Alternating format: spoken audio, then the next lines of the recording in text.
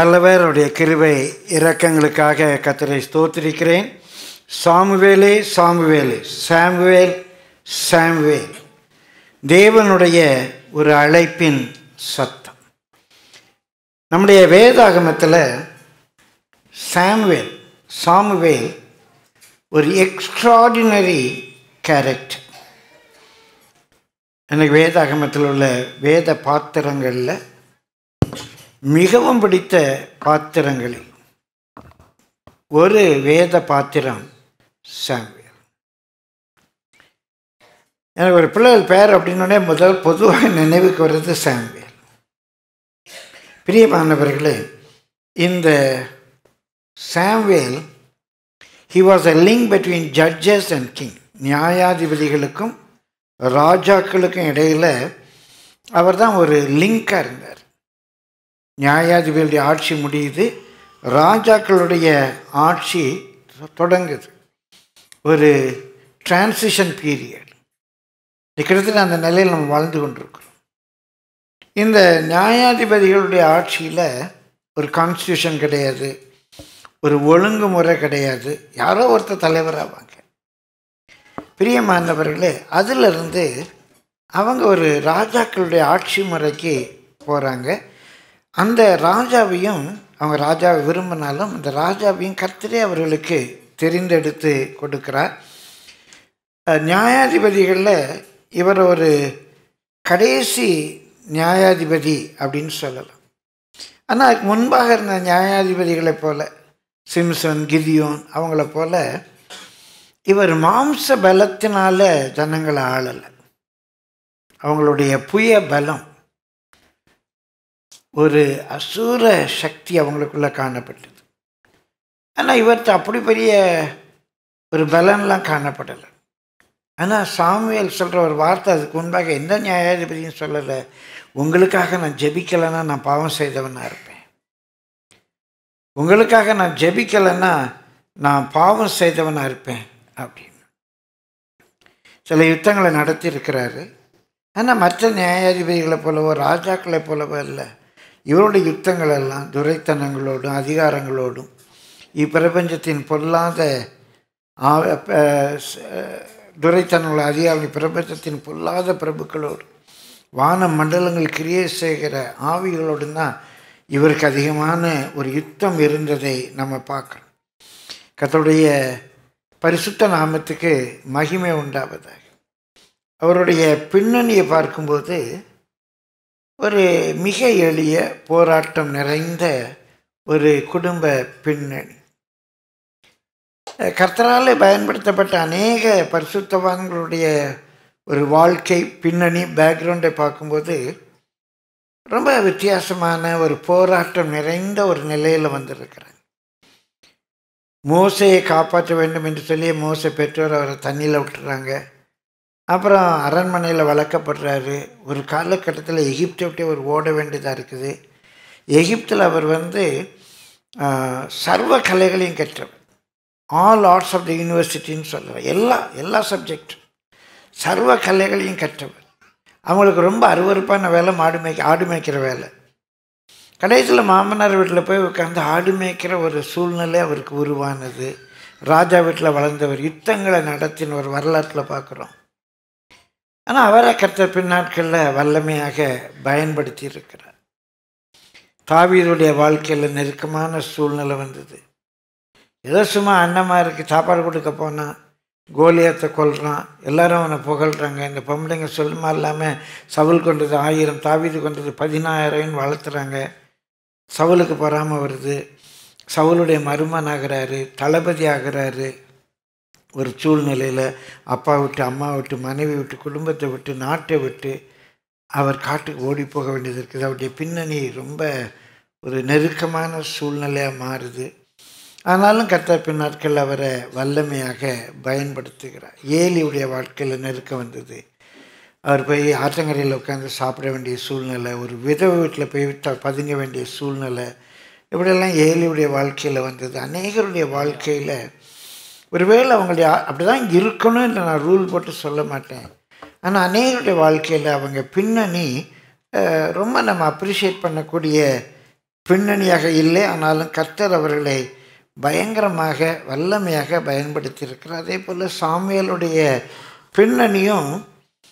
நிறைய கேள்விகளுக்கு பதில் காணாத ஒரு பின்னணி என்று சொல்லலாம் சாமியல் ஒன்றாம் அதிகாரம் ஒன்றாம் வருஷம் மூன்று அதிகாரங்களை சுருக்கமாக பார்க்க போகிறோம் சாமியல் ஒன்று ரெண்டு மூன்று அதிகாரங்களை சுருக்கமாக பார்க்க போகிறோம்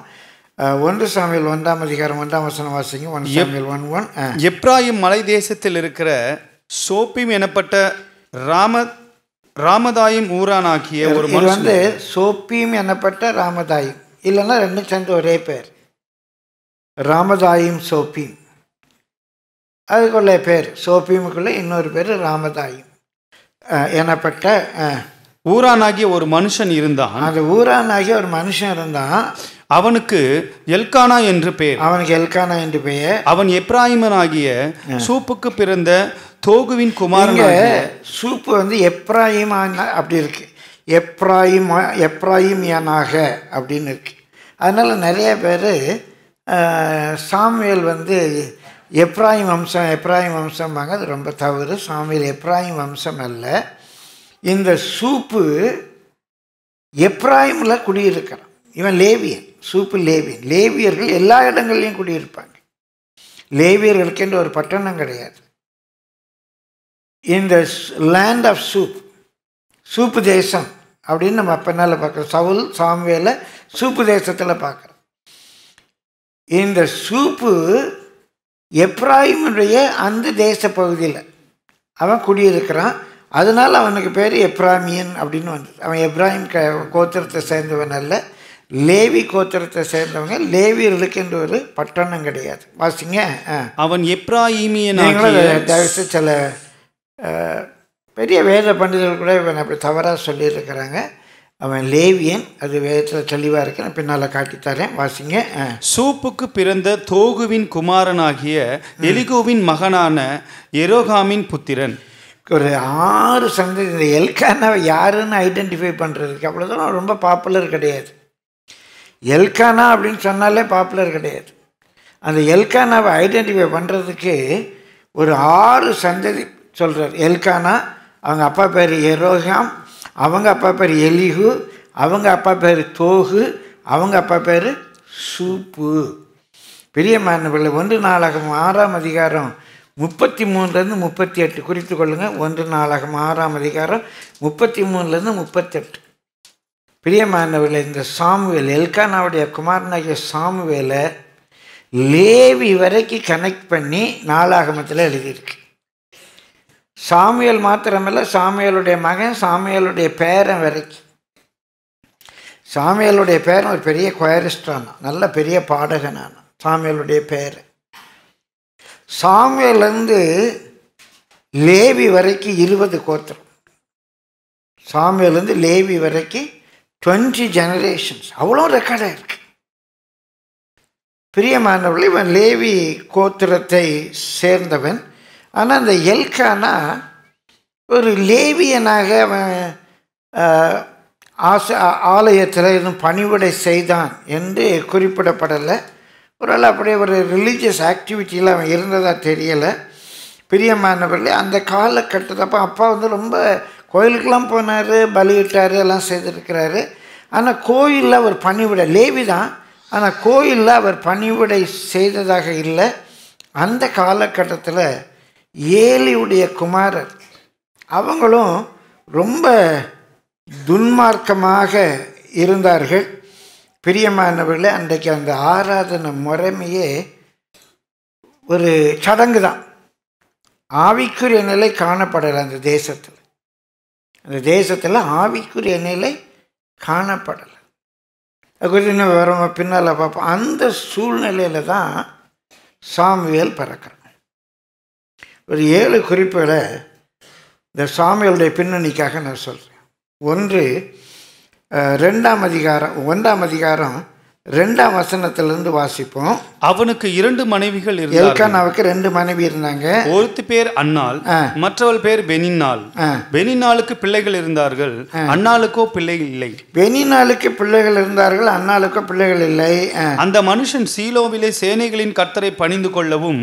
அவருக்கு பலியிடவும் வருஷந்தோறும் தன் ஊரில் இருந்து போய் வருவான் இருந்து போய் வருவான் அங்கே கர்த்தரின் ஆசாரியனான ஏலியின் இரண்டு குமாரராகிய ஓப்னியும் பினகாசும் இருந்தார் இருந்தார்கள் அயோக்கியமான காரியங்களை செய்கிறவங்க ரெண்டு பேர் வாசிங்க அங்கே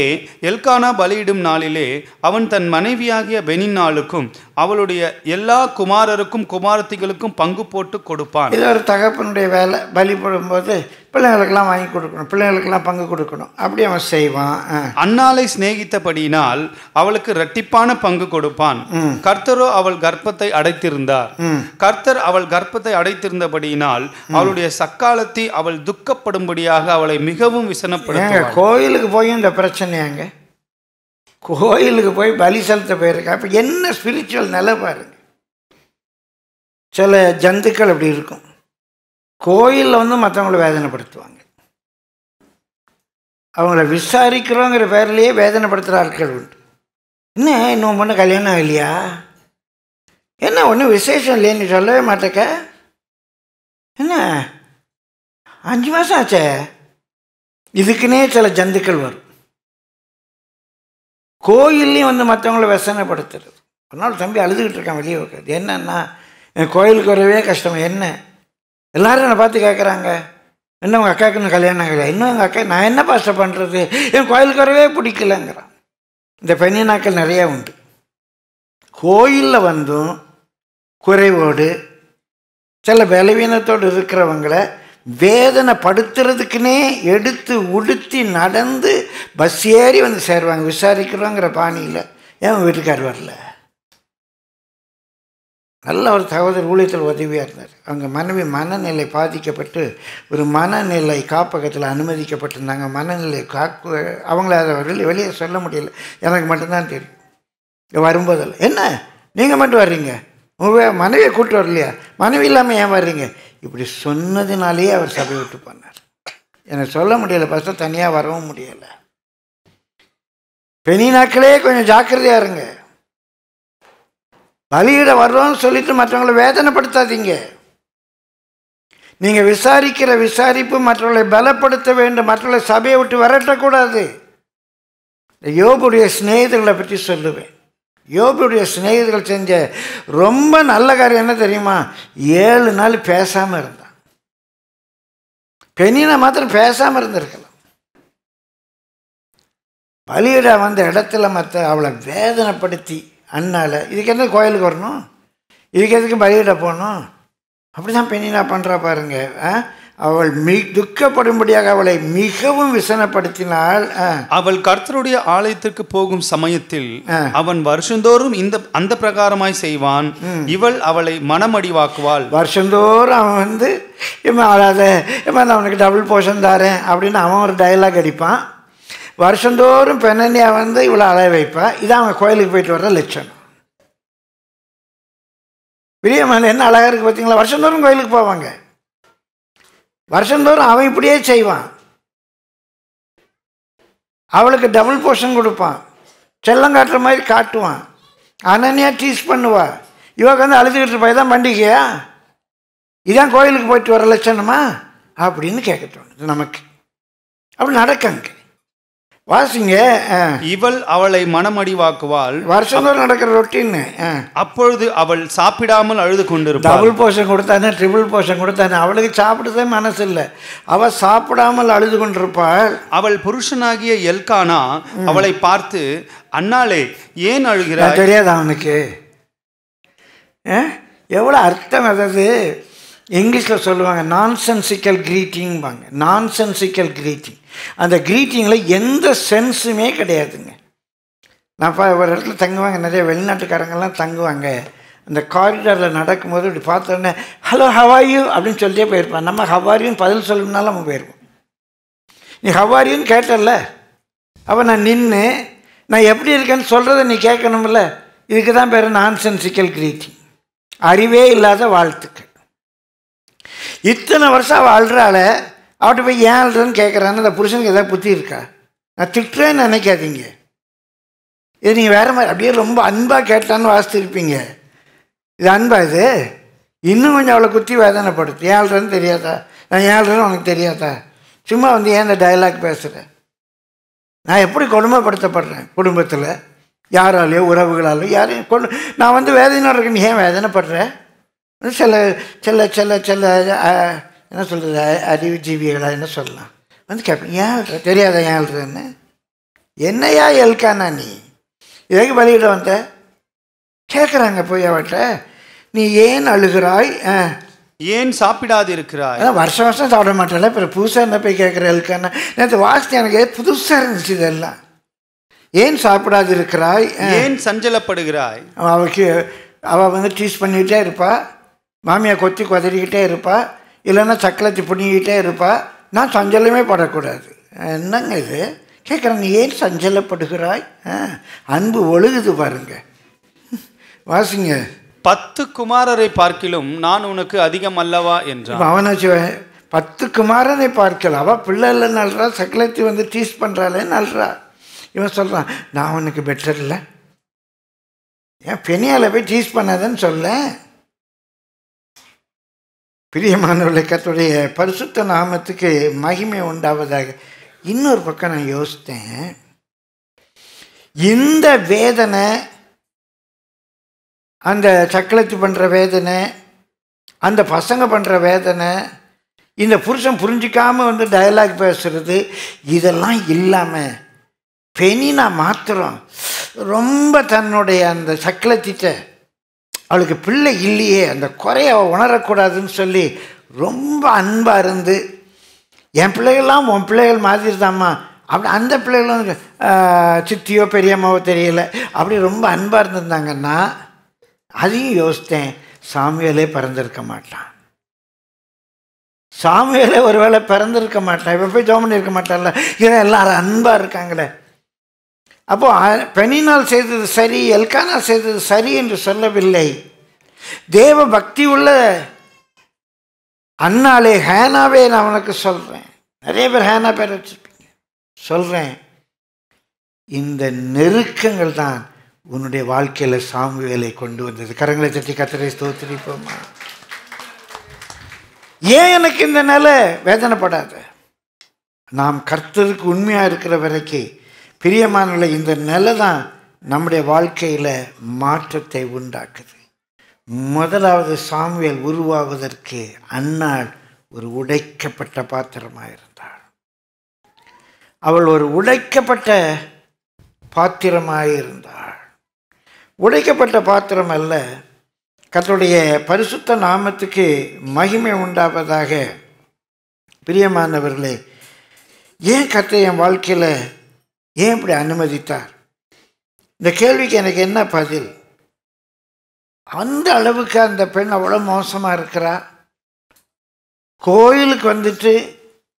சக்கரத்தையை வேதனைப்படுத்துகிறா அதை பார்த்து பிள்ளைங்க எப்படி பரிசுத்தமாக வளருமா வளராது அவளுக்கு பிள்ளைகளை கொடுத்துருக்கீங்க அவ கையில் பிள்ளைகள் இருக்காங்க நான் இவ்வளோ தேவனை தேவனை தேவனைங்கிறேன் எனக்கு பிள்ளை இல்லை ஏன் அந்தவரே பிரியமானவர்களை ஊதாரித்தனமாக செலவழிக்கிறவங்க இல்லைன்னா பூமியை தோண்டி புதைச்சி வைக்கிறவங்க அவங்க கையில் ரூபா கொட்டி கிடக்கு ஊழியம் செய்யணும் குடும்பத்தை நடத்தணும் பிள்ளைகளுக்கு அடிப்படை தேவைகளை சந்திக்கணும்னு நினைக்கிறாங்க அவங்க கையில் பைசா இல்லை ஏன் இப்படி இருக்குது ஏன் அண்ணா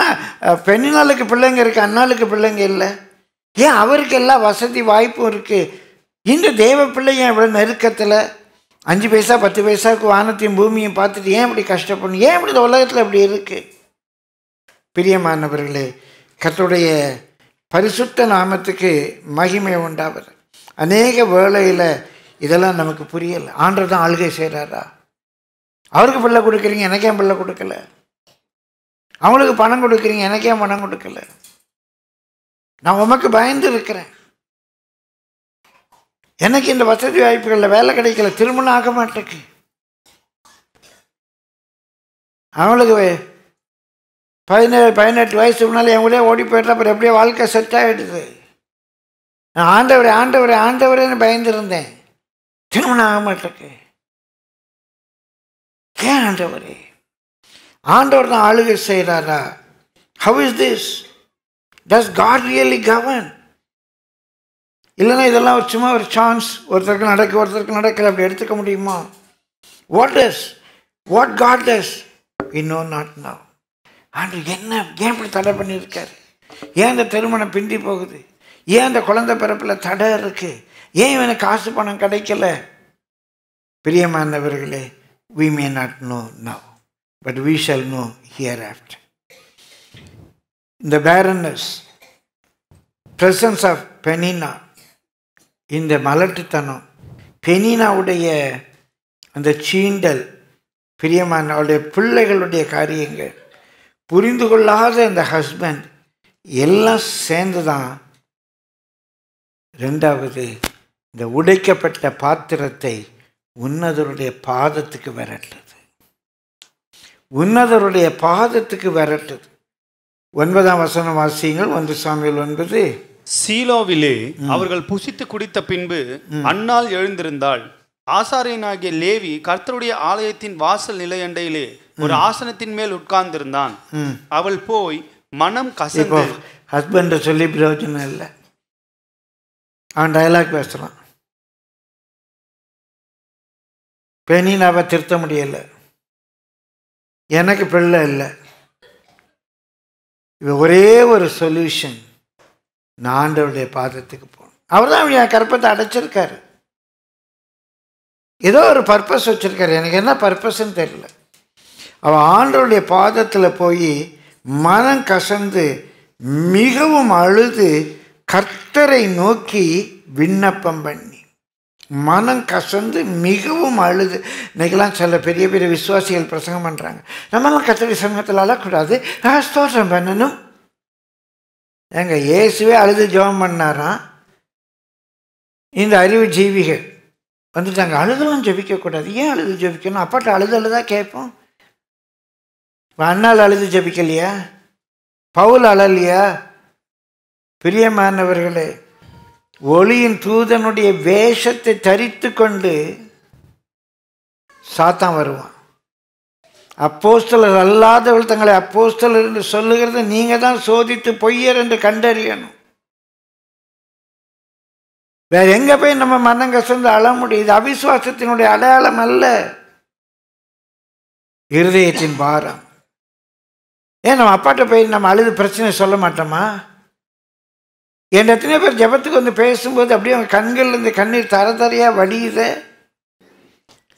எனக்கு இன்னும் இந்த காட்சி மறக்க முடியாது ஒரு முறை நாம் நான் ஏசியாவில் இருக்கும்போது ஒருத்தங்க ஜெபிக்க வந்தாங்க பாரத்தோடு அப்போல்லாம் ஜெபிக்க வரும்போது ஒரு ஜபப்பாய் போட்டு அவங்க முட்டி போடுவாங்க அப்படி ஜபப்பாய் போட்டேன் அவங்க முட்டி போட்டாங்க தார தரையாக அந்த கண்ணீர் அந்த பாயில் சொட்டு சொட்டு விழுது இப்போவும் நான் கண்ணீரோடு அதை நினைவு கூறுறேன்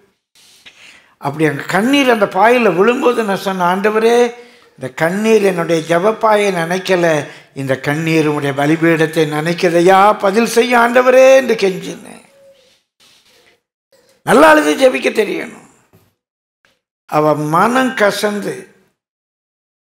அழுது மிகவும் அழுது கர்த்தரை நோக்கி விண்ணப்பம் பண்ணினால் சேனைகளின் கர்த்தாவே தேவரீர் உம்முடைய அடியாளின் சிறுமையை கண்ணோக்கி பார்த்து உம்முடைய அடியாளை மறவாமல் நினைத்தருளி உமது அடியாளுக்கு ஓர் ஆண் பிள்ளையை கொடுத்தால் அவன் உயிரோடு இருக்கும் சகல நாளும் நான் அவனை கர்த்தருக்கு ஒப்பு கொடுப்பேன் அங்கே ஒரு டிரான்சாக்ஷன் பொருத்தனை பண்ணி ஜெபிக்கிறான் ஜெபத்தில் பல விதங்கள் உண்டு அழுது ஜெபிக்கிறது உண்டு பிரியமானவர்களே ஸ்தோத்திரம் பண்ணி ஜெபிக்கிறது உண்டு உபவாசம் இருந்து ஜபிக்கிறது உண்டு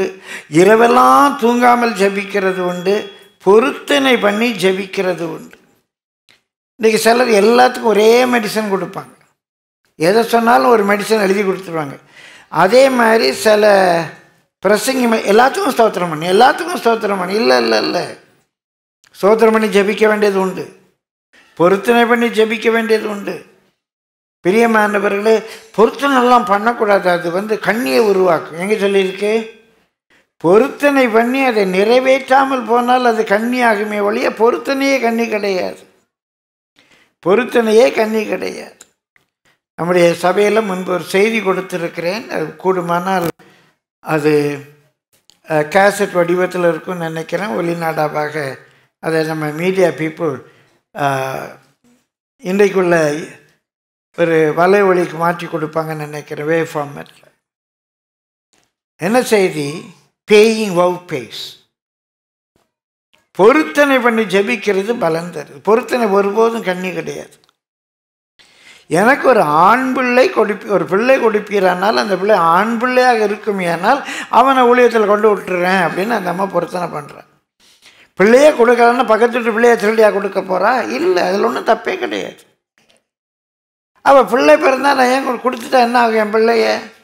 பிள்ளை பெறாத மலடிங்கிற பேர் போயிடும் என் பிள்ளை கத்தருக்கு பணி செய்வான் இன்றைக்கு எல்கான் அந்த வேலையை செய்யாமல் இருக்கிறான் அவன் லேவி கோத்துரும் அவன் கர்த்தருக்குரிய பணியை செய்யாமல் இருக்கான் என் பிள்ளையாவது கர்த்தருக்கு பணி செய்யட்டும் அந்த கோத்திரத்தில் வந்தவா ரொம்ப உற்சாகமாக சொல்கிறான் பிரியமானவர்கள் பேயிங் ஓ பேஸ் அது ஒரு நாள் ஒருவருக்கும் கண்ணி ஆகாது ஒவ்வொருத்தர் பைக் விற்கிறார் அந்த பைக் அவருக்கு ஐம்பதனாயிரம் ரூபாய்க்கு போகணும் அவர் விரும்புகிறாரு ஆண்டவரே எனக்கு இந்த பைக் ஐம்பதினாயிரம் ரூபாய்க்கு நான் கொடுக்கணுயா அதுக்கு மேலே எவ்வளோ வந்தாலும் நான் ஊழியத்தை கொடுத்துட்றேன் எவ்வளோ வந்தாலும் ஊழியத்தை கொடுத்துட்றேங்க நாற்பத்தெட்டாயிரத்துக்கு போச்சு அவர் கொடுக்கணுமா கொடுக்க வேண்டாம் ஐம்பதினாயிரத்துக்கு போச்சு ஏதா கொடுக்கணுமா கொடுக்க வேண்டாம் ஐம்பத்தி ரெண்டாயிரம் ரூபாய்க்கு போயிருக்கு அவர் விரும்பினது ஐம்பதினாயிரம் ஒருத்தர் அந்த வண்டியை ரொம்ப விரும்பி ஐம்பத்தி ரெண்டாயிரம் ரூபாய்க்கு வாங்கிட்டான் ரெண்டாயிரரூவா கொடுக்கணும் அதில் அவருக்கு என்ன நஷ்டம் அந்த வண்டி அறுபதாயிரம் ரூபாய்க்கு போயிடுச்சு ஒருத்தவங்க அந்த நம்பர் பிளேட் அந்த நம்பர்லாம் பிடிச்சி இந்த வண்டி தான் வேணும் அதுவும் நல்ல தேவ மனுஷன் பயன்படுத்தின வண்டி எனக்கு இந்த வண்டி தான் வேணும்னு சொல்லி வாங்கிட்டான் அறுபதனாயிரம் ரூபா கொடுத்துட்டான் சிலருக்கு இந்த சபலம் உள்ளவங்களுக்கு பத்தாயிரத்தை கொண்டு கொடுக்கவா பத்தாயிரத்தை கொண்டு கொடுக்கவா அவனுக்கு தான் கண்ணியாக இருக்கும் ஆனால் ஒரு டிசிப்ளின்டு மைண்ட் இருக்குது நான் என்ன சொன்னேன் எனக்கு ஐம்பது வேணும் ஐம்பதுக்கு மேலே எவ்வளோ கிடச்சாலும் நான் கொடுத்துட்றேன்னு சொன்னது அறுபது கிடச்சானே எழுபது கிடச்சானே நான் கொடுத்துட்றேன் அவள் பொருத்தனை ஒருவருக்கும் ஒருபோதும் கண்ணியாகாது எந்த பொருத்தனை ஏன் ஒரு பொருத்தனை பண்ணுறான் ஆண்டவரோட டிரான்சாக்ட் பண்ணுறா அல்றா விண்ணப்பம் பண்ணுறா பொருத்தனை பண்ணுறா பொருத்தனை பண்ணி அவள் ஜெபிக்கிறா கத்தோடைய பரிசுத்த நாமத்துக்கு மகிமை உண்டாவதாக இதுக்கெல்லாம் காரணம் ஒருவேளை குடும்பத்தில் இருந்த ஒரு நெருக்கமான சூழ்நிலை பிரியமானவர்களே அந்த நெருக்கமான சூழ்நிலை நம்மள அநேக வேளையில் இயேசுவின் பாதத்தை தேடி ஓட வைக்குது நம்ம மகிழ்ச்சியான சூழ்நிலைகளை தன்னை பலமுறை சொல்லியிருக்கிறேன் நான் ஐசியூவில் இருக்கும்போது தேவ சமூகத்தை உணர்ந்த அளவுக்கு புல்பீட்டில் நான் வளர்ந்ததில்லை என்னையும் அறிய வச்சு சொல்கிறேன் அந்த தனிமையில் தாம் தாம் துணையென சொன்னவர் நற்றாட்டில் விட்டாரையா என்று அதம் படிக்கிட்டு இருந்தேன்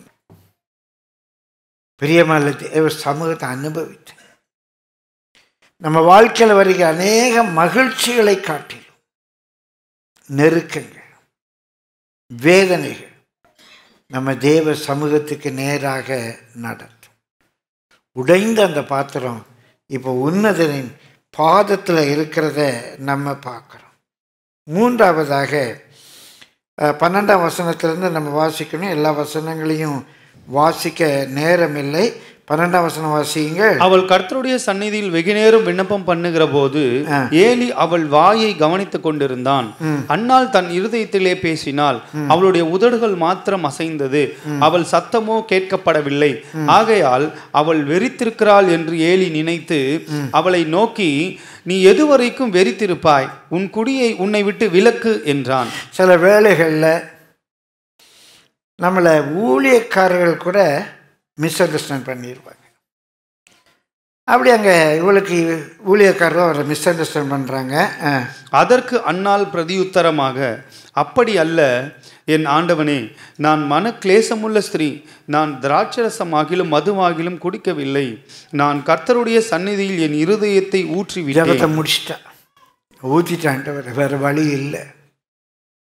என் புருஷத்தை ஊற்ற முடியாது யார்கிட்டையும் ஊற்ற முடியாது உம்முடைய சந்நிதியில் இருதயத்தை ஊற்றி விட்டேன்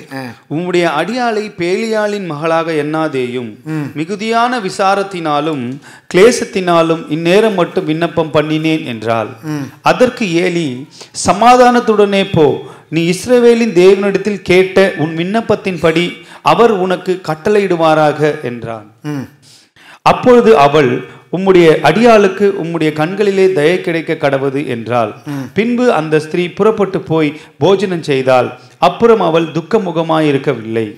பிரியமானவர்களே இதுக்கு ஒரு தலைப்பு கொடுத்தேன் உரு மாற்றின விசுவாசம் உடைந்த பாத்திரம் உன்னதரின் பாதத்தில் அவ உருவமே மாறிடுச்சுங்க பெரிய விசுவாசம் வந்துருச்சு ஆண்டவர் பார்த்துக்குவார் ஊழியர்கார் வாயிலேருந்து ஒரு வார்த்தை வந்து சமாதானத்தோட போகணும்னு சொல்லிட்டார் இவெல்லாம் அவர் பார்த்துக்குவார் அவ பின்னால் வாசிக்கிறோம் அவ அதுக்கப்புறம் துக்கமாக இருக்கவில்லை துக்கமாக இருக்கிறது மாத்திரமல்ல பத்தொன்பதாம் வசனம் வாசிங்க அவள் அதிகாலையில் எழுந்து கர்த்தரை பணிந்து கொண்டு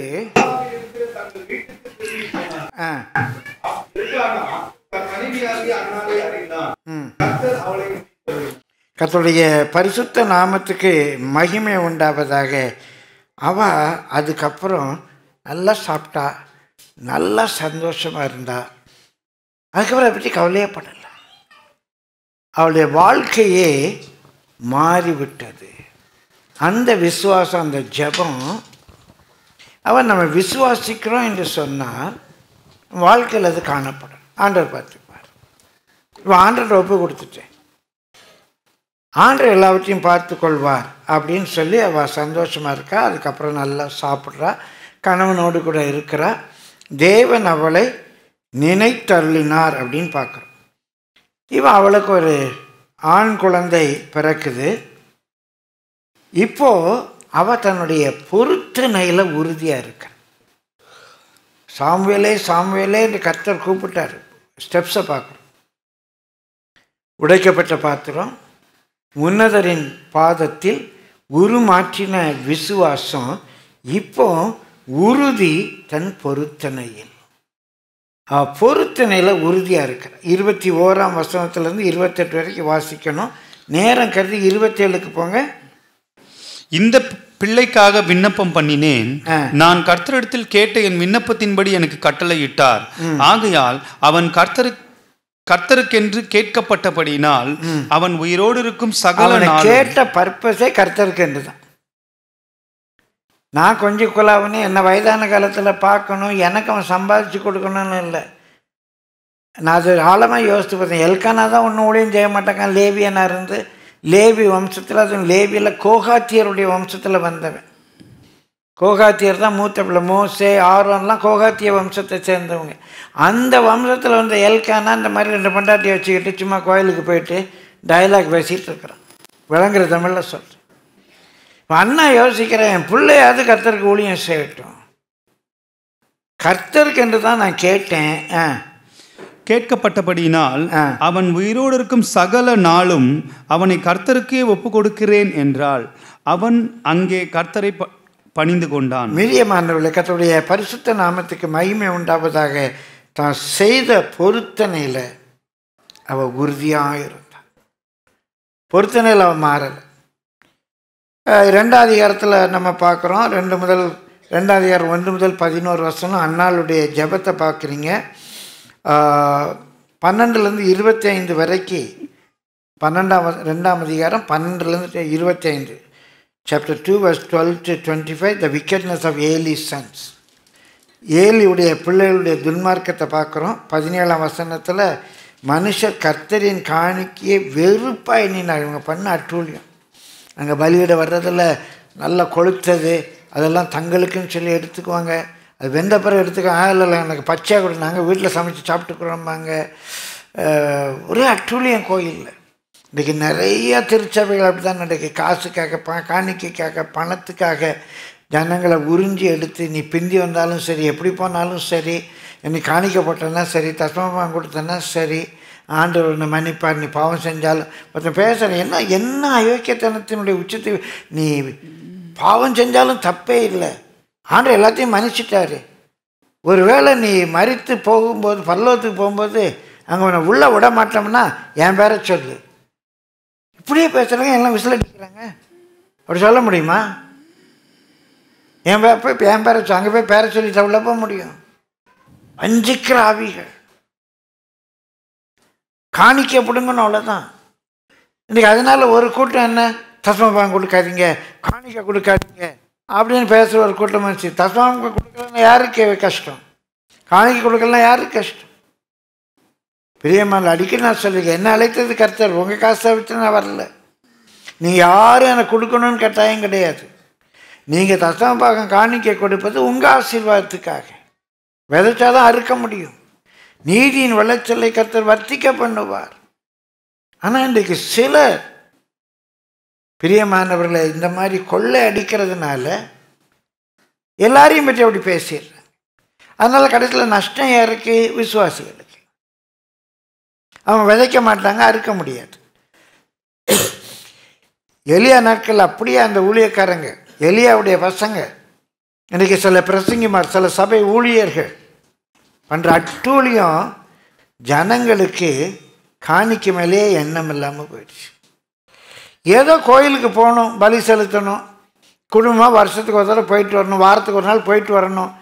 என்னமோ போனோமா பிந்தி போனோமா கேட்க ஆள் கிடையாது ஏதோ காணிக்க போட்டோமா வீட்டுக்கு போவோம் நமக்கும் ஒன்று மதம் இருக்குது கல்யாணத்துக்கு சர்டிஃபிகேட் கொடுப்பாங்க செத்தாக எடுப்பாங்க அப்படி தான் எளியாவுடைய நாட்களில் இருந்துச்சு பெரியமலை அது மாத்திரமா பண்ணாங்க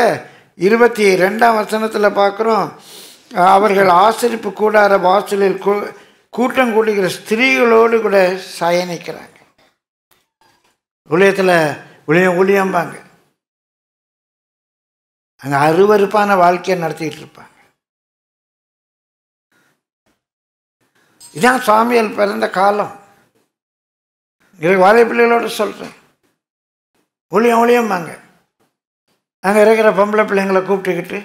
பைக்கில் ஊரை சுற்றிக்கிட்டு இருப்பாங்க காலி பசங்க அதுக்குன்னே வருவானுங்க சில போதையர்மார் அப்படி இருப்பாங்க ஜப எத்தனையோ கேஸ் கேள்விப்பட்டிருக்கேன் ஜபத்துக்கு வர்றவங்கள தான் பக்கம் எடுத்துக்கிட்டு அவங்கள வச்சுக்கிட்டு ஊரை சுற்றிக்கிட்டு அவங்க வீட்டில் ஆள் இல்லாத நேரம் போய் தின்னுட்டு சட்னி நல்லா இருக்குது சாம்பார் நல்லா இருக்குன்னு நிறைய தவறாக சொல்லலைங்க அந்த சபை சபை கூடுகிற இடத்துல இவங்க தொடர்பு வச்சாங்க ஒன்றா படுத்தா என்ன ஒன்றா பைக்கில் சுற்றினா என்ன எல்லாம் ஒன்று தான் அன்றைக்கி அவங்க அப்படி பண்ணாங்க இன்றைக்கி இவங்க இப்படி பண்ணுறாங்க ஊழியத்துக்கு சபைக்கு வர பெண்களோட தொடர்பு வச்சுக்கிட்டு அது மாத்திரம் இல்லை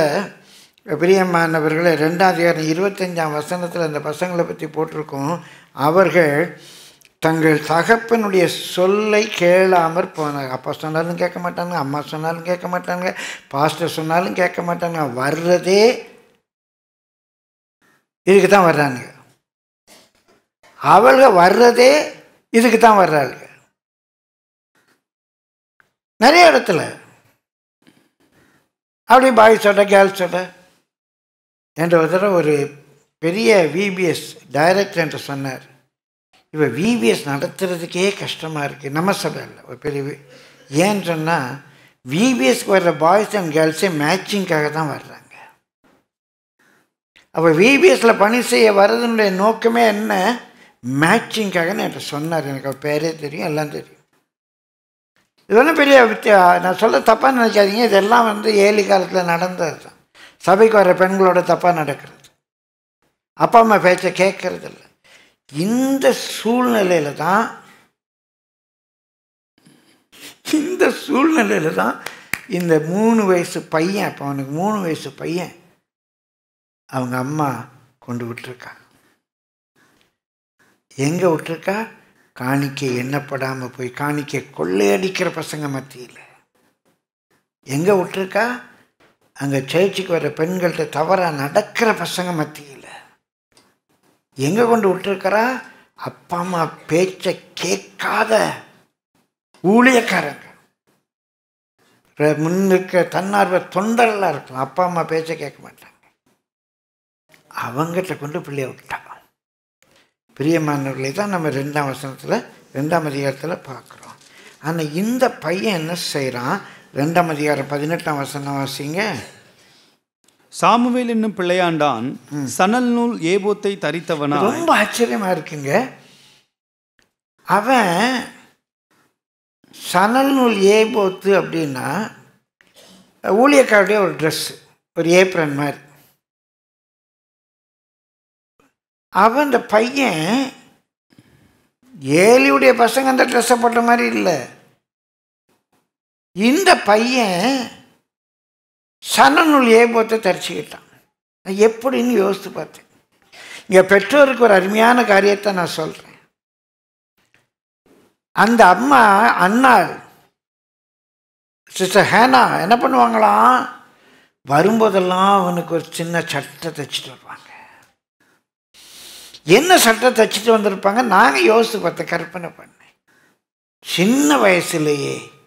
ஊழியக்காரனுக்கு ஏற்று ஒரு உடை கொண்டு வந்து கொடுத்தாங்க ஏன் அந்த அம்மா அந்த பிள்ளையை கேட்டதே கர்த்தருக்கென்று தான் கேட்டாங்க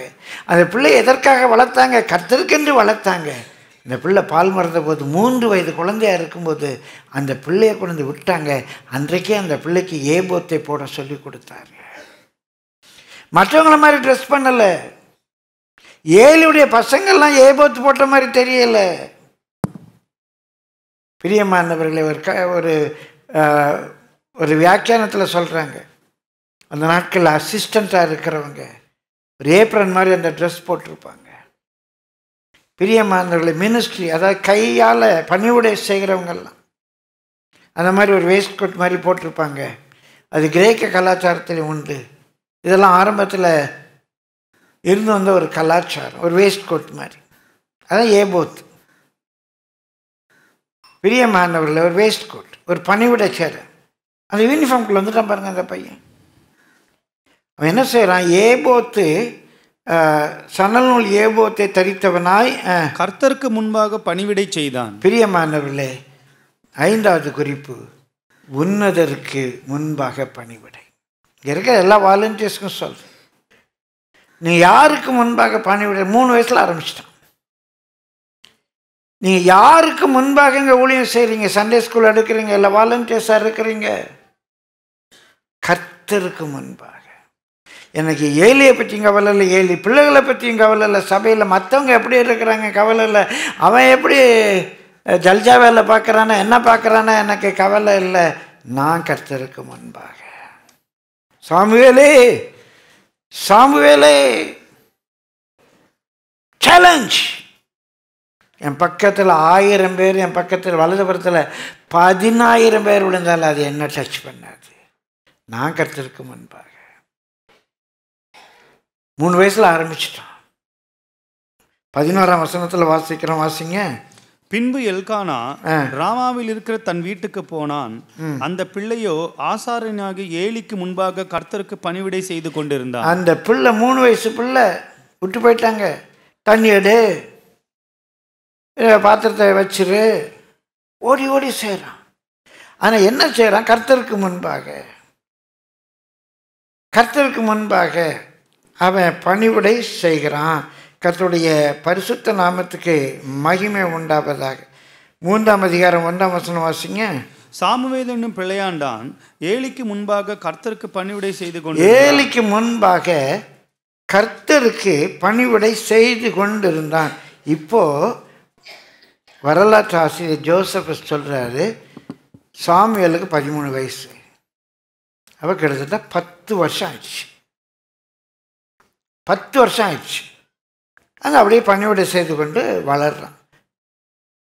பணிவிடை என்ற அந்த சொல்லினுடைய பொருள் மினிஸ்ட்ரி மினிஸ்ட்ரி என்றால் என்ன என்றால் மீனியல் எடுபடி வேலை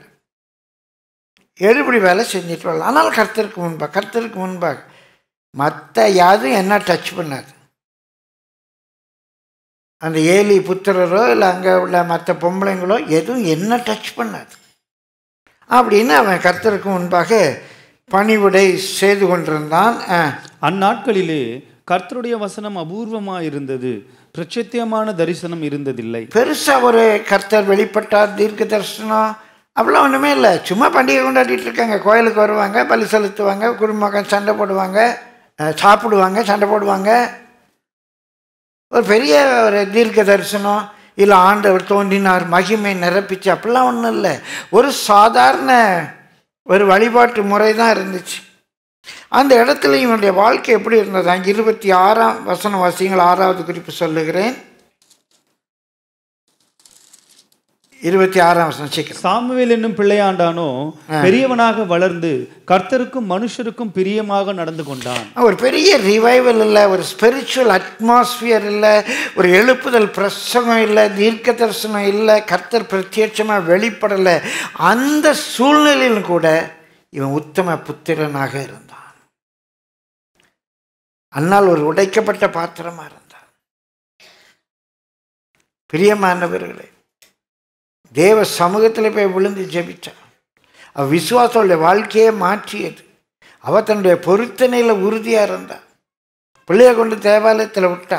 அந்த பிள்ளை அந்த சூழ்நிலையிலையும் கர்த்தருக்கு முன்பாக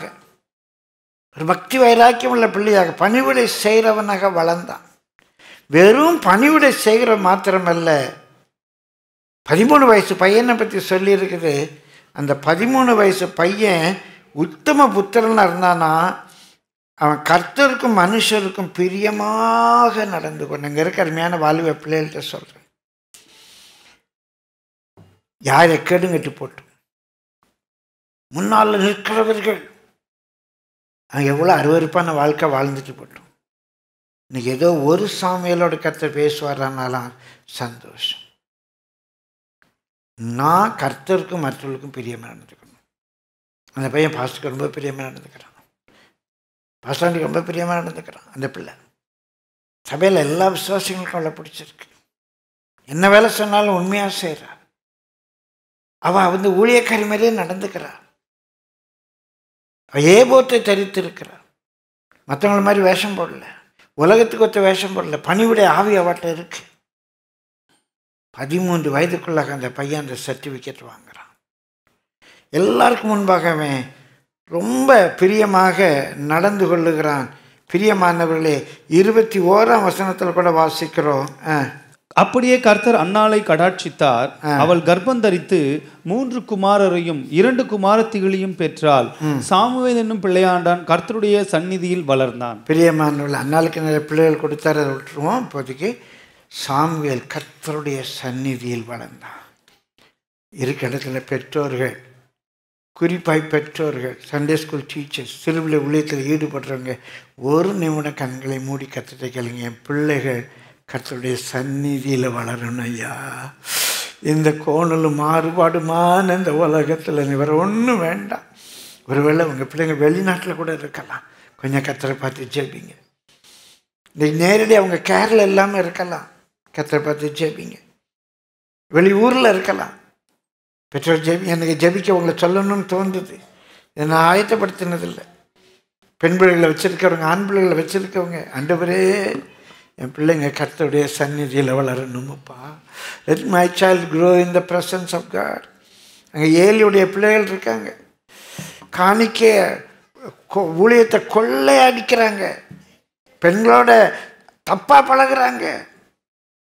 அங்கே வர்ற பெண்கள் அதுக்கு இடம் கொடுக்குறாங்க அப்பா அம்மா கீழ்ப்படுகிறதில்ல அந்த சூழ்நிலையில் கூடுமானால் சின்ன அடையாளமாக இன்னும் ஒரு வினாடி ஒரு ஒரு தடவை கூட உங்கள் நெஞ்சில் வலது கையை வச்சு கத்துட்டுகள் யாரும் யாரையும் பார்க்க வேண்டாம் என் பிள்ளைகள் உம்முடைய சமூகத்தில் வளரணும் ஐயா என் பிள்ளைகள் உம்முடைய சமூகத்தில் வளரணும் எத்தனை பேர் சுற்றி இருந்தாலும் சரி எல்லாருக்கும் பிரியமா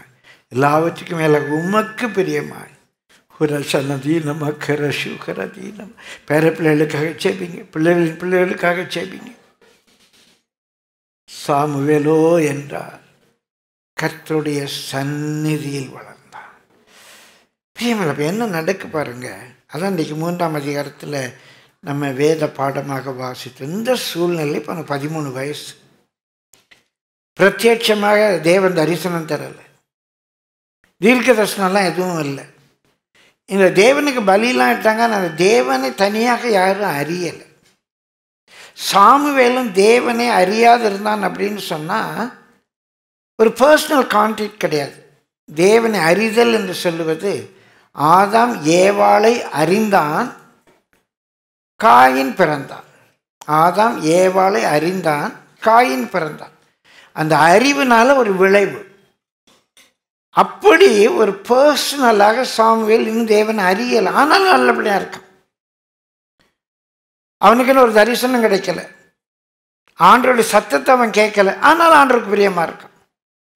ஆண்டர் சமூகத்தில் அந்த பிள்ளை வளர்றாங்க இருக்கிற அநேகரை பற்றி ஆண்டவர் பேசுகிறார் பத்து ஆண்டுகளாக நீ தேவ சமூகத்தில் இருந்திருக்கிறாய் ஏழு வீட்டில் இருந்திருக்கிறார் துன்மார்க்கமான பிள்ளைகள் மத்தியில் இருந்திருக்கிறார் ஆனால் நீ மட்டும் ஏபோத்தை தரித்து கொண்டு எல்லாருக்கும் பிரியமாக நடந்துக்கிட்டு இருந்த இன்றைக்கு எனக்கு பதிமூன்று வயது பதிமூன்று வயது இல்லை பதினாலு பதினஞ்சு வயது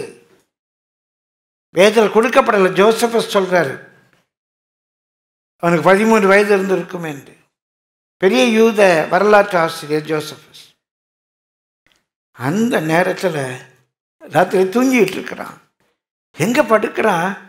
ஆலயத்தில் பெட்டி இருக்கிற இடத்துல படுக்கிறான் ஆலயத்தில் பெட்டி இருக்கிற இடத்துல படுக்கிறான் படுத்து தூங்கிட்டு இருக்கான் சின்ன பையன் பதிமூணு வயசு பையன் தூக்கத்தில் சத்தம் கேட்கு சாமுவேல் அந்த சத்தம் கேட்டோன்னு என்ன நினைக்கிறேன் பாருங்க எலியா கூப்பிடுறாரு பாஸ்டர் கூப்பிடுறாரு ஐயா கூப்பிடுறாங்க என்ன என்னையா அந்த ஏ ஐயா என்ன தூங்குறேன் நம்ம பார்த்து கூப்பிட்டுருக்காரு இருக்கார் வேலை வெட்டி இல்லை அப்படின்னு மன்னங்கல்ல திட்டலை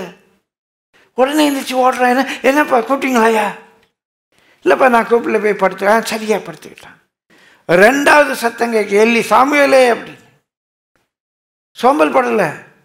அதாங்க சாமியல் அதான் சாமியல் ரெண்டாவது தடவை ஓடுறான் கூப்பிட்டீங்களா வில்லிங் ராத்திரி தூக்கத்தில் willing to serve willing to save பணி செய்ய ஆயத்தமாக இருக்கிறான் என்ன கேட்பார் தண்ணி கேட்பார் தண்ணி எடுத்தாம் பாரு ஏதாவது ஒன்று சொல்ல போகிறாரு பார்க்கலாம் நான் ஒன்று கூப்பிடல பார்ப்பேன் படுத்துக்கப்பா அப்படின்ட்டு அவன் தேவனை அறியலை தேவ சத்தத்தை கேட்டதில்லை ஒரு பர்சனல் என்கவுண்டர் அவனுக்கு இருந்ததில்லை ஆனால் தேவனுக்கு பயந்துருந்தான் மூணாவது ஒரு சத்தம் கேட்டுச்சு என்ன கூப்பிட்டீங்களா அப்படின்னு இப்போ ஏலி யோசித்தார் இல்லை இந்த பையன் திரும்ப திரும்ப இப்படி வாடுறான்னு எப்பா நான் கூப்பிடலப்பா ஒரு வேளை இன்றைக்கு உன்னை தேவன் கூப்பிடுகிறா இன்னொரு தடவை நான் சத்தம் கேட்டா சொல்லும் அதையும் கேட்குறேன்னு சொல்லுப்பா ஒன்பதாம் வசனம் வாசிங்கள் மூன்றாம் அதிகாரம் சாமுவேலை நோக்கி நீ போய் படுத்துக்கொள் உன்னை கூப்பிட்டால் அப்பொழுது நீ கர்த்தாவே சொல்லும் அடியேன் கேட்கிறேன் என்று சொல் என்றான் கர்த்தாவே சொல்லும் அடியேன் கேட்கிறேன் என்று சொல்லுனார் போய் படுத்துக்கிட்டான் ஒரு உடைக்கப்பட்ட பாத்திரத்திலிருந்து வந்தவன் தேவனுடைய சமூகத்தில் அழுது கதறிய ஒரு பெண் விசுவாசத்தில் கத்தரோடு செய்த பொருத்தனையில் உறுதியாக இருந்த பெண் தேவ சமூகத்தில் வளர்க்கப்பட்ட பிள்ளை சிறு வயதிலேயே ஒரு பணிவுடைய ஆவியோடு கூட இருந்த பிள்ளை பத்து ஆண்டுகளுக்கு மேலாக தேவனை அறியாது இருந்தோம் தனிப்பட்ட முறையில் தேவனோடு ஒரு தொடர்பு இல்லாது இருந்தும் தேவனுக்கும் மற்றவர்களுக்கும் பிரியமாய் நடந்த பிள்ளை இன்றைக்கு இன்றைக்கு எலியாவுக்கு கேட்கல எலியாவுடைய பிள்ளைகளுக்கு அந்த சத்தம் கேட்கல இவன் காதில் அந்த சத்தம் கேட்குது பத்தாம் வருஷம் வாசிங்க ரொம்ப அருமையாக இருந்துச்சு அப்பொழுது கர்த்தர் வந்து நின்று இயேசு நாமத்தில் சொல்கிறேன் தம்பி பதிமூணு வயசு மகளே பதிமூணு வயசு மகனே பதினாலோ பதினஞ்சோ சரி முப்பதோ நாற்பதோ ஐம்பதோ பரவாயில்ல எண்பதாக இருக்கட்டும் பரவாயில்ல எண்பது வயதில் ஒரு நாள் தேவன் மோசையை கூப்பிட்டார்ல எண்பது வயசாக பரவாயில்ல கர்த்தர் வந்து கர்த்தர் வந்து சாமுவேலே உனக்கு முன்பாக நின்று பல்லவத்திலிருந்து இல்லை நான் படுத்த இந்த இடத்துக்கு தேவனியை யாவே இறங்கி வர்றார் இருக்கிறவராகவே இருக்கிறவர் இறங்கி வர்றார் கர்த்தர் வந்து அவனுக்கு முன்பாக நின்று முன் போல சாமுவேலே சாமுவேலே என்று கூப்பிட்டார் சாமுவேலே சாமுவேலே என்று கூப்பிட்டார் நான்காவது முறை இந்த சத்தம் கேட்குது இந்த சத்தம் கேட்ட உடனே அந்த பாஸ்டர் சொல்லி கொடுத்துருந்தார் ஆண்டரை சொல்லும் அடியன் கேட்குறேன்னு சொல்லுப்பான்னு சொல்லி கொடுத்துருந்தார் இவனுக்கு இன்னும் தேவனை தெரியாது ஆனால் உடனே எழும்பி ஆண்டவரை பார்த்து சொல்கிறான் அதற்கு சாமி சொல்லும் அடியேன் கேட்கிறேன் என்றார் சொல்லும் அடியேன் கேட்கிறேன் என்றான் பதினோராவது வசனத்தில் அப்போ தேவன் சாமுவேலை நோக்கி இந்த பாருப்பா இதோனா இந்த பாரு நான் இந்த காரியத்தை செய்ய போகிறேன் இதையெல்லாம் நான் செய்வேன் பிரியமான கத்தோடைய பரிசுத்த நாமத்துக்கு மகிமை உண்டாவதாக இதெல்லாம் இப்படி செய்ய போகிறேன் அப்படின்னு அது முதற்கொண்டு சாமுவேல் தீர்க்கதர்சியோடு கூட தேவன் பேச ஆரம்பித்தார் ஒரு முக்கியமான காரியத்தை நான் சொல்கிறேன் பழைய ஏற்பாட்டில் பழைய ஏற்பாட்டில் சாமுவேல் மாத்திரம்தான் மூன்று பெரிய வேலைகளை செய்தான் ஒன்று அவன் கடைசி நியாயாதிபதி கடைசி நியாயாதிபதி ரெண்டாவது வேதத்தில் முதல் தீர்க்கதரிசி ராஜாக்களை வழிநடத்துகிற சவுலை பிரியமானவர்களே தாவீதை வழிநடத்துகிற ஒரு பெரிய தீர்க்கதரிசி அதுக்கு முன்பாக அப்படி தீர்க்கதரிசன ஊழியமாக யாரும் செய்ததில்லை இந்த சின்ன சாமி அன்றைக்கு அண்டவரே சொல்லும் அடியன் கேட்குறேன்னு ஒப்பு கொடுத்தான் பாருங்கள் அவன் தான் தீர்க்கதரிசி நியாயாதிபதி தீர்க்கதரிசி அது மாத்திரமல்ல நான் அறிந்த மட்டும் வேதத்திலேயே வேதத்திலேயே நியாயாதிபதியாய் தீர்க்கதர்சியாக இருந்தது மாத்திரமல்ல அவன் மாத்திரம் நான் ஆசாரியாக நகர்ந்து பலியிட்டான் நான் கவனித்தேன் இந்த மூன்று ஊழியத்தையும் செய்தது பின் நாட்களில் இயேசு மாத்திரம்தான் இயேசு ராஜாஜி ராஜாவாக வெளிப்பட்டார் இயேசு தீர்க்கதரிசியாக இருந்தார் பிரியமானவர்களே இயேசு மெல்கி சதைக்கின் முறைமையின்படி ஆசாரியனாக இருக்கிறார் தாவீது ராஜாவாக இருந்தான் தீர்க்கதர்சியாக இருந்தான் ஆனால் பலியிடல் ஆசாரியபடி அவனுக்கு கிடைக்கல ஏசாயா எசைக்கியல் தீர்க்கதர்சிகளாக இருந்தாங்க அவங்க நியாயாதிபதிகளாகவோ லீடர்ஸாகவோ ராஜாவாக வரலை நேற்று நான் உண்மையாக யோசித்தேன் பேர் இந்த மூன்று ஒளியத்தையும் அந்த சின்ன பையன் கையில் கொடுத்திருப்பா என்ன பின்னணி உழைக்கப்பட்ட குடும்பம் கண்ணீரோடு அவன் தாய் வாழ்ந்தான் அவன் தான் நியாயாதிபதி ராஜா கீக்வர் judge leader he was a priest he was a prophet நான் எப்படியாக சொல்கிறேன் எளிதாக வச்சுக்கோங்க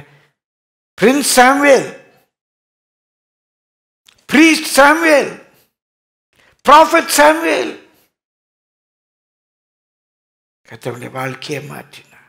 கத்தருடைய பரிசுத்த நாமத்துக்கு மகிமை உண்டாவதாக ஒரு சில வசனங்களை வாசித்து நம்ம ஜெபம் பண்ணுவோம் யாக்கோபு ஐந்து பதினொன்று அருமையான தாய்மாருக்காக சொல்கிறேன் சகோதர சகோதரிகளுக்காக சொல்கிறேன் வாழ்க்கையில் சில நெருக்கங்கள் இருக்கலாம் கஷ்டங்கள் இருக்கலாம் அவங்கெல்லாம் இப்படி இருக்காங்களே நான் ஏன் கஷ்டப்படுறேன் அவளுக்கெல்லாம் பிள்ளை இருக்குது எனக்கு ஏன் பிள்ளை இல்லை இல்லை அவங்களுக்கெல்லாம் பணம் இருக்குது எனக்கு ஏன் பணம் இல்லை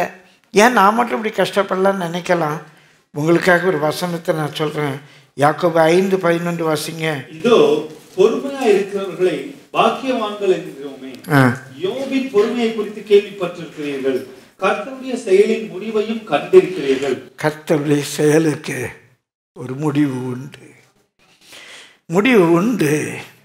அண்ணாளுடைய வாழ்க்கைக்கு ஒரு முடிவு உண்டு தாவீதுடைய உபத்திரவங்களுக்கு ஒரு முடிவு உண்டு இன்றைக்குள்ள யோபுடைய வாழ்க்கைக்கு ஒரு முடிவு உண்டு இங்கிலீஷில் வாசிக்கிறோம் you seen the end of the லார் அது இன்னொரு மொழிபெயர்ப்பில் இருக்குது you seen the end result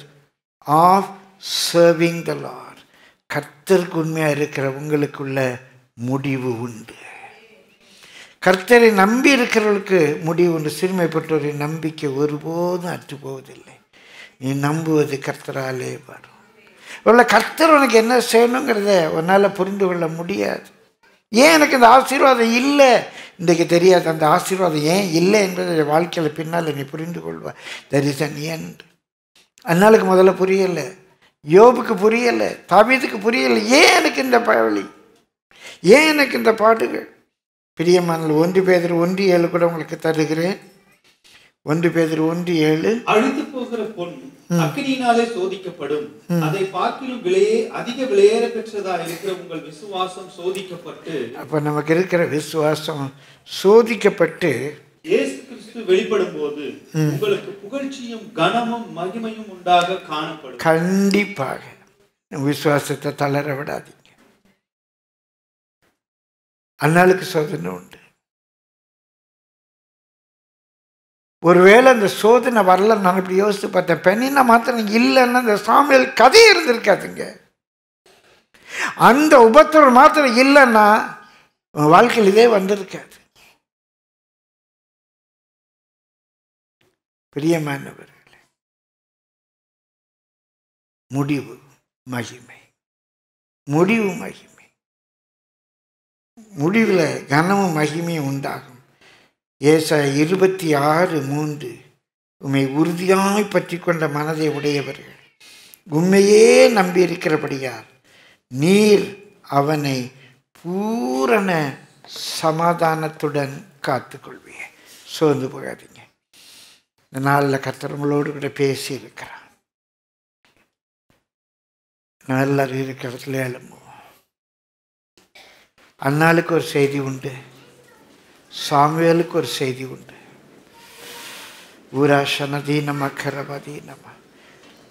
உபத்திரப்பட்டு கொண்டிருக்கிற சகோதர சகோதரிகளுக்கு ஏன் எனக்கு இப்படி ஏன் எனக்கு இப்படி ஏன் என் கணவன் இப்படி இருக்கணும் ஏன் என் கணவன் ரட்சிக்கப்படல ஏன் என் கணவன் அன்பாக இல்லை என் கணவன் வெறுமையாக வெத்துக்கு டைலாக் பேசிகிட்டு இருக்கான் ஏன் அழுறன்னு தெரியாத வந்து கேட்குறான் ஏன் அழுறன்னு கேட்குறேன் உண்மையாக எனக்கு வாசிக்கும் போது எல்கான ரொம்ப அன்பு உருகின மாதிரி சிலர் நினச்சிக்குவாங்க பிரசங்கம் பண்ணுவாங்க இல்லைங்க பைத்தியக்காரத்தனமாக தான் எனக்கு தோணுச்சு எதுக்கு கல்யாணம் தெரியாதா ஏன் ஆள்றேன்னு ஏன் ஆள்றேன்னு தெரியாதா ஏன் சஞ்சலப்படுறான்னு தெரியாதா ரெண்டு போர்ஷன் சாப்பாடு கொடுத்துட்டா போதுமா ஆ சக்கலத்தியாலெல்லாம் வேதனைப்படுத்துகிற சாப்பாடு எல்லாம் நல்லதுகிட்டு இருக்கிறா என்ன இருக்கானா சரி கோயிலுக்கு வந்த இடத்துல பெனனியா ஏன் போட்டு இப்படி நீ அவ்வளோ வேதனைப்படுத்த பலியோடு தானே வந்தீங்க சாமி கும்பிட தானே வந்தீங்க சந்தோஷமாக குடும்பம் சாமி கும்பிட்டு போங்களேன் அண்ணா இந்த வேதனை இல்லைன்னா உன் வாழ்க்கையில் சாமியல் இருக்க மாட்டான் இயேசு நாமத்தில் சொல்கிறேன் இப்போ இனி நான் இல்லைன்னா சாமியல் ஒருவேளை உருவாக இருக்க மாட்டான் நீ கத்தருடைய பாதத்தை தேடின கத்தர் அதிசயத்தை பண்ணின இங்கே இருக்கிற பிள்ளைகளோடு கூட சொல்கிறேன் ஏலி வீட்டில் அந்த சாமியல் தன்னை ஒரு ஊழியக்காரனாக காத்துக்கிட்டான் யார் எப்படி இருந்தாலும் சரி உலகத்தில் எப்படி வேஷம் இருந்தாலும் சரி இங்கே இருக்கிற வாலிப பிள்ளைகள் பெண் பிள்ளைகள் ஆண் பிள்ளைகளை பார்த்து சொல்கிறேன் நீங்கள் ஏபோத்தை தரித்தவர்களாக இருங்க நீங்கள் ஏபோத்தை தரித்தவர்களாக இருங்க ஹலோ லூயா எல்லாருக்கும் பிரியமாக நடங்க உங்கள் பெற்றோருக்கு கீழ்ப்படிங்க உங்களுடைய பாலியல் வாழ்க்கையில் உண்மையாக உறுதியாக இருங்க ஹலோ லூயா ஹலோ லூயா ஒருவேளை தேவனோடு உங்களுக்கு பர்சனல் என்கவுண்டர் இல்லாமல் இருக்கலாம் உங்களுக்கு எதுவும் கிஃப்ட்ஸ் கிடைக்க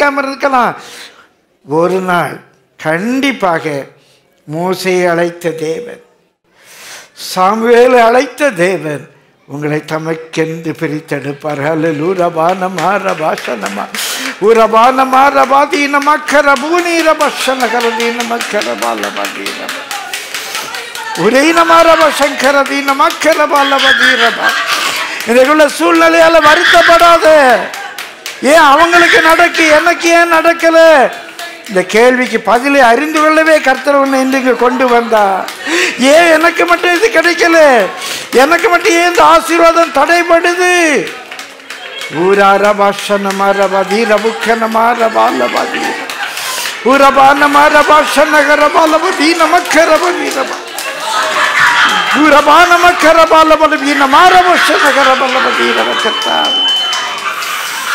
விரீஷமகர லகதி நமக்கர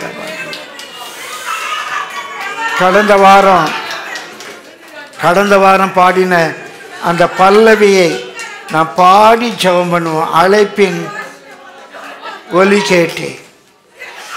ஆண்டவர் என்ன அறிந்தேன் முதல்ல தெரியலை ஏலி கூப்பிடாருன்னு நினச்சேன் பாஸ்டர் தான் என்ன வேலைக்கு கூப்பிட்ருக்காரு பாஸ்டர் தான் வந்து ஹெல்ப் பண்ண சொன்னார் பாஸ்டர் தான் எனக்கு இந்த சண்டே ஸ்கூல் எடுக்க சொன்னார் பாஸ்டர் தான் என்னை வந்து மீடியாவில் சேர்த்தாருன்னு நினச்சேன் ஏலி தான் என்னை கூப்பிட்டாருன்னு நினச்சேன் என்னை ஏலி கூப்பிடலை என்னை கூப்பிட்டது தேவே ஐயா சொல்லு அடி என் கேட்குறையா சொல்லுங்கப்பா நான் செய்கிற ஆண்டவர் அழைப்பின் குரல் கேட்டேன்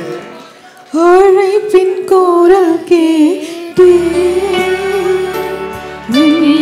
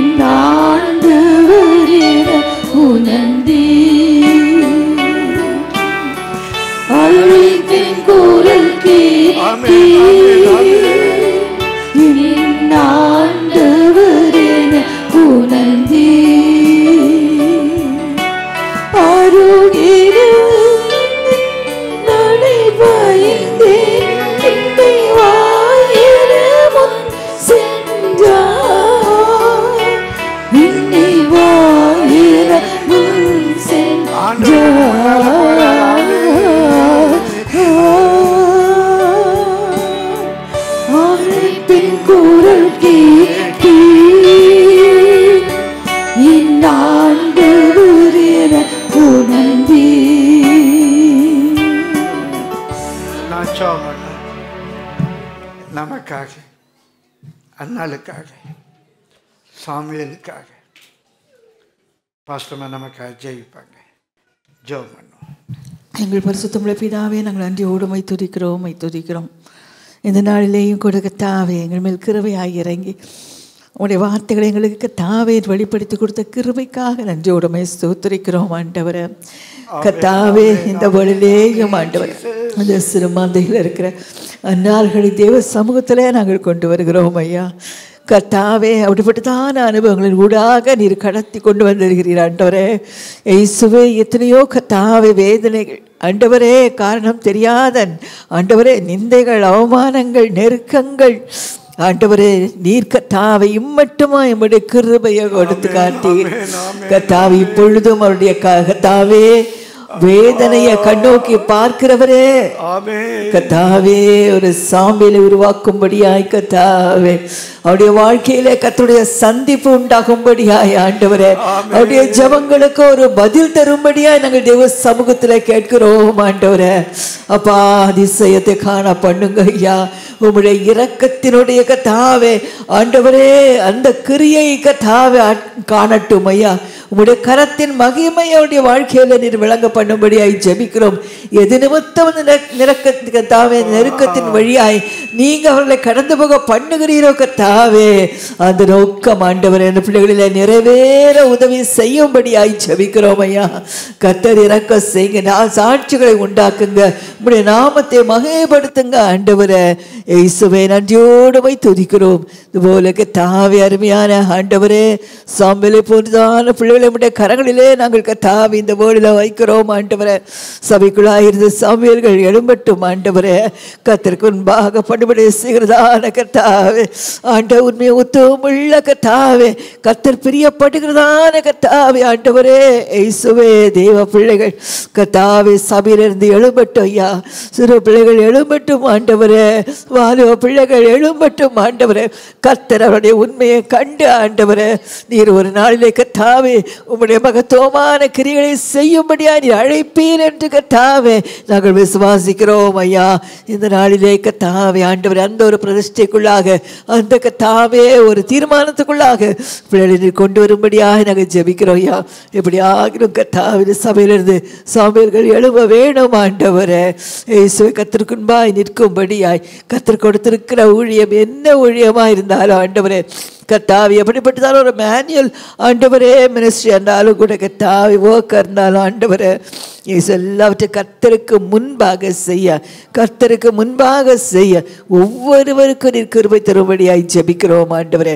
தாழ்த்தி கரங்களில் ஒப்பு கொடுக்கிறோம் இந்த நாளில் இனி அனுப்பின ஆண்டவரே உம்முடைய கத்தாவே அப்பா வார்த்தையை நீங்கள் உறுதிப்படுத்தி ஆண்டவரே ஒவ்வொருடைய வாழ்க்கையிலேயே அதிசயங்களை காண பண்ணுங்க ஆலலூயா நன்றி தகப்பனே நன்றி ஏசு கிறிஸ்துவின் நாமத்தில் பிதாவே ஆமாம் ஆமாம் നമ്മുടെ കഥ യേശു ക്രിസ്തുവിൻ്റെ കൃപയും പിതാവാകിയ ദൈവൻ്റെ അൻപും പരിശുദ്ധാവിയാരുടെ അൻപിൻ അന്യോന്യ ഐക്യവും സ്നേഹവും நம்ம அனைவரோடும் கூட இன்றும் என்று கத்துடைய வருகை மட்டுமா இருப்பதாக ஆமீன் ஆமீன் ஆமீன் ஆமீன் காட் பிளஸ் யூ ஆல்